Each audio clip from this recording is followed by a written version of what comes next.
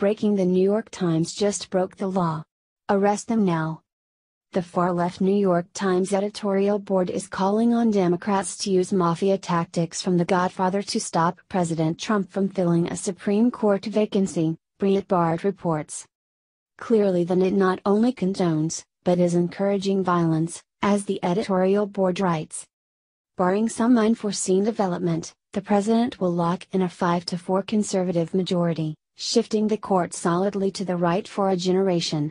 This is all the more reason for Democrats and progressives to take a page from The Godfather and go to the mattresses on this issue. The term going to the mattresses means going to war.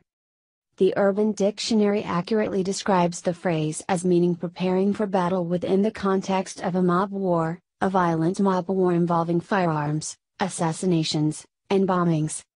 The anti Trump New York Times describes this editorial as a call to arms and adds that the fire now raging against Mr. Trump and his nominees can't be sustained indefinitely.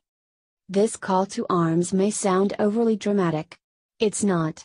As hyperpartisanship, gridlock, and a general abdication of responsibility have rendered Congress increasingly dysfunctional. Long after Mr. Trump is nothing but a toxic memory, the federal judiciary, from the Supreme Court on down, will bear the smear of his fingerprints. The coming confirmation battle will be fierce, but no matter what happens, the fight cannot end there. Simply put, the media, Democrats, liberals, and Hollywood elites have declared open season on Trump supporters.